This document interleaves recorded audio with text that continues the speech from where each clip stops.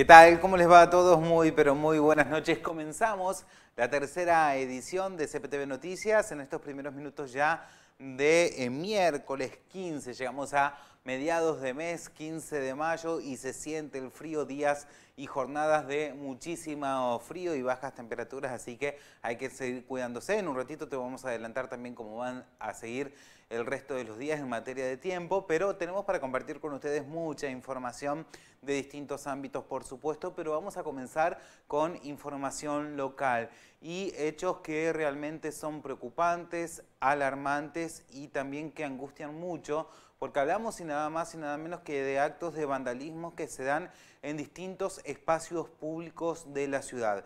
En las últimas horas, bueno, dos espacios fueron atacados por vándalos que no solo produjeron destrozos, sino que además también robaron pertenencias.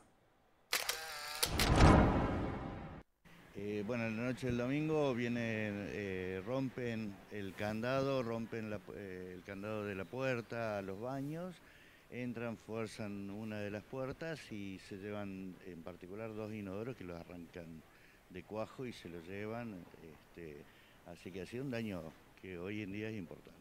Provocaron daño también en una de las aberturas para poder ingresar. Exactamente, sí, sí, en la, puerta de la entrada sacaron rompieron el candado, rompieron donde, donde eso cierra y bueno, esto todo una situación difícil para, para poder eh, reponer que gracias a Dios tenemos el compromiso de la municipalidad, pero bueno, eh, es un daño para todos. ¿Es la primera vez que les pasa o la primera vez en el último, en los últimos meses?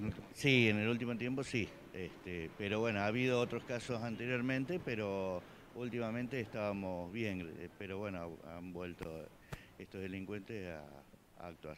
Bien, Sí, lamentablemente no es el único lugar. Eh, casi prácticamente el mismo día en el barrio Santa Rita, al lado del Estadio Arenas. Eh, hemos amanecido con la presencia de bancos rotos, eh, bancos tanto también como los baños, los, inodoros, eh, que son utilizados por la ciudad, por la familia de, Carlos Paz, que diariamente viene a, compartir un momento. y hoy tenemos que estar abocados, en vez de estar disfrutando, que la familia disfrute estos espacios, estar abocados, como decía también recién Claudio, a repararlos, a estar ocupándonos en este, en este sector, en vez de estar hoy armando quizás otra plaza, pudiendo armando otro punto de encuentro para, los vecinos de la ciudad. Y es lamentable el vandalismo, como todos los años está pasando. Eh, es lamentable la, falta de quizás de, compromiso, ¿no? Porque estamos hablando de mismos vecinos, que este costo, si bien muchos dicen, bueno, es un costo que le lleva la municipalidad, no es la municipalidad el que lleva el costo, sino justamente los propios vecinos. Eh, porque en vez de, estar solucionando o viendo otras, cómo mejorar también este propio espacio, eh, hoy estamos reparando, hoy estamos gastando dinero en un año también donde es tan complicado eh, con el tema económico, que obviamente Carlos Paz no está exento. Eh, la verdad que estamos muy, muy dolidos porque significa una falta de, de empatía. ¿no? Desde hace un tiempo a esta parte, por supuesto, eh, venimos hablando de la economía y por supuesto de la crisis ¿no? que se ha generado. Eh, y hablamos también bueno, de la situación de las familias, de las economías familiares. ¿Cómo se hace para llegar a fin de mes? Sabemos que muchos literalmente se han tenido que comer los ahorros. Ahora, ¿qué pasa cuando no hay más ahorros? Hay muchos que quizá por herencia o porque han comprado anteriormente eh, alguna joya, alguna laja, tienen en, su baúl, en su, en su joyerito. Em, ¿Y qué pasa? ¿Lo ha salido a vender como para poder llegar a fin de mes? Bueno, esta misma pregunta se la fuimos a hacer a Ariel Tondo de la joyería de aquí de Carlos Paz y esto nos decía. La profundidad de la crisis es la que ha desatado este incremento de la venta de oro. No hay otra excusa. O sea, no es porque la gente está aburrida en la casa, se puso a revolver los cajones a ver qué es lo que tiene o qué es lo que no tiene. Realmente la gente está recurriendo a todo lo que tiene para poder, eh, a poder atravesar esta crisis que puede llegar a durar tres meses, seis meses más, no lo sabemos. Dependemos de muchísimas cosas para que el mercado se empiece a reactivar, los sueldos empiecen a incrementarse y realmente podamos salir y afrontar estas necesidades que todos estamos afrontando que son pagar las tarifas tan elevadas y demás. Entonces, realmente, si vos me haces la pregunta directa, es la, el 100% de la venta de oro se incrementó por la eh, por la economía, por la recesión, sí, claro que sí, no hay otro caso, no hay otra duda. Yo puedo, de esta forma y a través de estos medios, puedo alertar a alguna persona a que se motive a decir, che, ah, mira, tenemos eso al vicio y lo vendemos. La diferencia es la otra, es, es la, la gente que nos viene a vender oro, es vengo a vender esto para pagar, vengo a vender las alianzas para pagar la boleta de la luz. O sea, en, en esa magnitud nosotros acá en el mostrador vemos muchísima dificultad y, vemos situaciones que realmente no nos gustan, que la gente le saca los aritos a su hija o se saca los aritos a ella porque no llega a pagar la luz, no llega a pagar el alquiler. O sea, hasta ese punto es la crisis y la profundidad. Yo tengo mucha experiencia de esto porque yo lo he vivido con mi padre en el 89, ponerle con Alfonsín, y en cada crisis, en cada crisis está eso, lo hemos vivido y ha pasado, se incrementa de esa forma. En el 2001 fue increíble la venta de oro en el 2001 y ahora estamos, no te digo en situaciones similares al 2001, pero ya te digo, se ha incrementado del año pasado a este el 100% y es 100% por necesidad no es por ninguna otra cosa. En nuestro canal oficial de YouTube, eh, por supuesto, allí pueden encontrar la nota completa para aquellos que de repente no, les quede otra que recurrir a este tipo de ahorros, ¿no? Para, para poder, eh, bueno, llegar a fin de mes y necesiten hacerlo, bueno, allí en la nota completa está todo el asesoramiento también de cómo hacerlo y, bueno, que no sean estafados, por supuesto, ¿no? Em, cambiamos de tema y nos vamos ahora porque sabemos que a nivel mundial se está eh, eh, conmemorando la Semana del Parto Respetado. Y aquí, en Villa Carlos Paz, particularmente en el Hospital Municipal Gumercindo Sayago, se está llevando a cabo esta campaña que en realidad escapa a lo que tiene que ver con la semana puntual del parto respetado, sino que se hace durante todo el año. Y estamos hablando nada más y nada menos que de las charlas y los talleres para mujeres y familiares ¿no? de las mujeres embarazadas. Ayer fue el día del el 13 de mayo, es el día del parto respetado y esta semana es la Semana Mundial eh, del Parto Respetado, en el que bueno, se, se pone mayor énfasis en, transmitir y en destacar la importancia que tiene de que tanto la mujer eh, como el familiar que la acompaña puedan decidir el proceso, siempre, en el marco también de lo, de lo, de lo que médicamente eh, sea posible, pero por supuesto respetando eh, la privacidad, respetando las decisiones de, tomar determinada acción, siempre se consulta. Y bueno, acá en el hospital se viene trabajando ya hace varios años en el tema del parto respetado, tanto con un protocolo, así como modificándole el, área, de el área de preparto.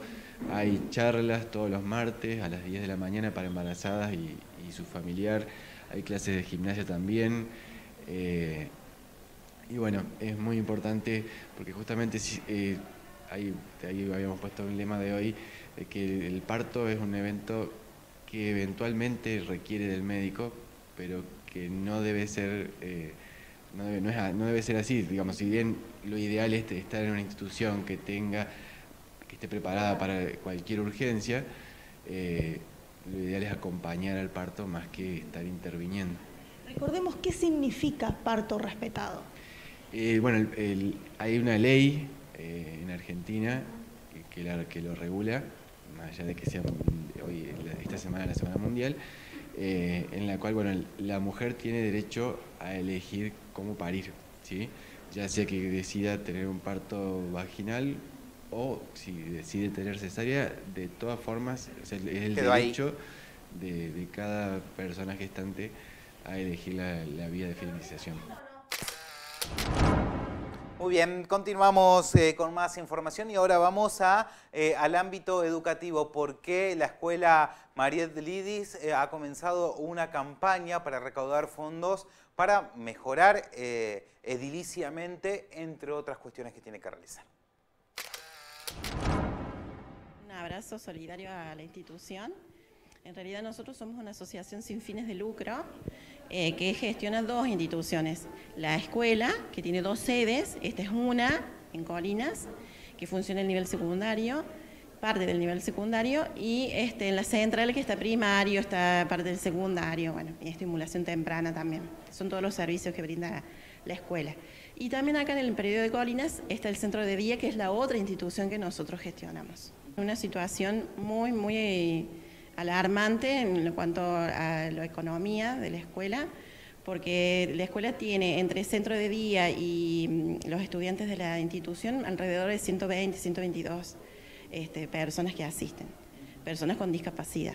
Este, todo lo que la última eh, movida que ha habido sobre la discapacidad, que no ha favorecido a, los prestadores y a las instituciones, eh, ha, eh, ha, reducido considerablemente los ingresos y nosotros somos una institución que es única en la zona, entonces nosotros recibimos todo tipo de chicos con obra social y sin obra social y las obras sociales que tenemos en este momento no son suficientes, no tienen el ingreso suficiente para sostener dos instituciones, ¿no?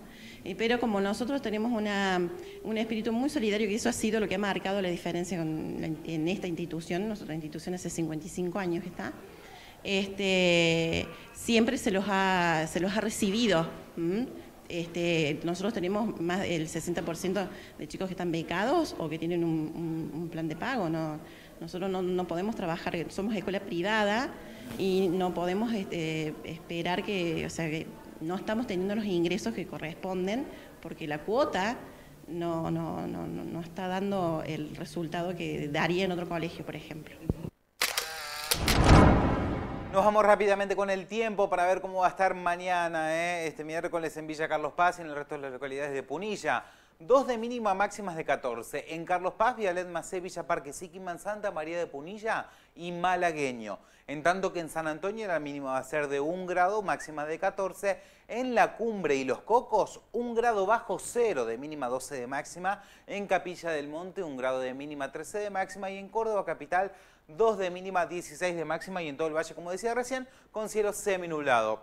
¿Tenemos extendido también? A ver, Jueves en Carlos Paz, mínimas de 4, máximas de 15. Semi nublado, pero eh, sigue bajando la temperatura porque la mínima para el viernes va a ser de 3 grados, igual de máxima de 15. Y el sábado menos todavía, 2 grados de mínima, 13 de máxima con el cielo semi nublado. Bueno, se va acrecentando el frío, así que bueno, definitivamente ya hay que sacar los abrigos para, para quedárselos toda la temporada. ¿eh? Eh, hasta aquí llegamos nosotros con la información, agradecemos por habernos acompañado y mañana nos esperamos como siempre a partir de las 8 de la mañana con toda la programación en vivo de CPTV. Que tengan un excelente descanso.